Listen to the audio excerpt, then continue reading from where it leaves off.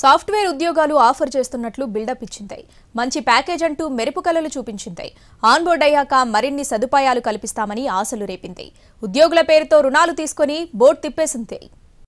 హైదరాబాద్ గచ్చిబౌలిలో బోర్డు తిప్పేసిన ఇన్సోఫీ software company మోసాలు ఒక్కొక్కటిగా బయటపడుతున్నాయి.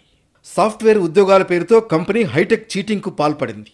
ఇన్సోఫీ సంస్థ మొత్తం ఏడు వందల మందిని రిక్రూట్ చేసుకుంది. తొమ్మిది నెలల ట్రైనింగ్ తర్వాత ఆన్బోర్డు చేస్తామని మస్కా కొట్టింది. నైన్ మంత్స్ క్రితం మేము జాయిన్ అయ్యాం. ఆన్ క్యాంపస్ ద్వారా మాకు ప్లేస్మెంట్ అయ్యింది. ఆన్ క్యాంపస్ ద్వారా ప్లేస్మెంట్ అయ్యింది.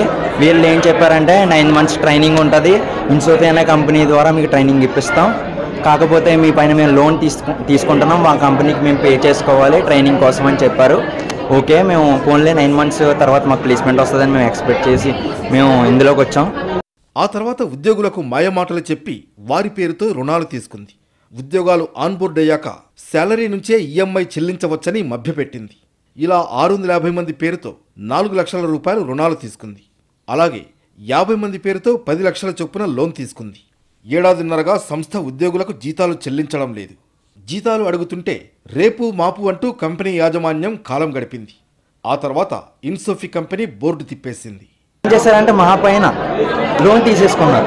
ఇప్పుడు మేము బయటికి ఎక్కడికి వెళ్ళినా మాకు ఆ పైన మా పైన ఒక లోన్ అనేది చూపించేస్తుంది. మా సివిల్స్ అనేవి పడిపోతాయి. అలాగే లోన్ ఫోర్ ల్యాక్స్ చెప్పారు. విత్ ఇంట్రెస్ట్ సిక్స్ ల్యాక్స్ చెప్ సిక్స్ ల్యాక్స్ చూపించారు వాళ్ళు. ఆన్బోర్డింగ్ అయిన తర్వాత లోన్ అనేది మీ మీరు మీరు ఆన్బోర్డ్ అవుతారు కదా? మీరు ఆన్బోర్డ్ అయ్యాక మీకు మినిమం టెన్ ఎంతైతే ఈఎంఐ ఉందో మంత్లీ అది కట్ అవుతుంది. ఆ, దాని ద్వారా మీ లోన్ అనేది క్లోజ్ అవుద్ది. అని బాండ్లో మెన్షన్ చేశారు. ఉద్యోగులను తీసివేస్తున్నట్లు కంపెనీ వారికి మెయిల్ పంపింది. దీంతో షాక్కు గురైన బాధితులు గచ్చిబౌలి ఇన్సోఫీ కంపెనీ ఎదుట ఆందోళనకు దిగారు. తమకు న్యాయం చేయాలని డిమాండ్ చేశారు. సమాచారం అందుకున్న పోలీసులు అక్కడికి చేరుకుని దర్యాప్తు చేపట్టారు. ఇప్పటికే లేఆఫ్స్తో గందరగోళంలో ఉన్న ఐటీ ఉద్యోగులు చిన్న కంపెనీల బాగోతాలు బయటపడుతూ ఉండడంతో మరింత ఆందోళన చెందుతున్నారు.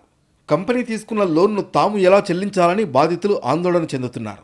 బాధ్యులైన వారిని అరెస్ట్ చేసి తమకు న్యాయం చేయాలని డిమాండ్ చేస్తున్నారు.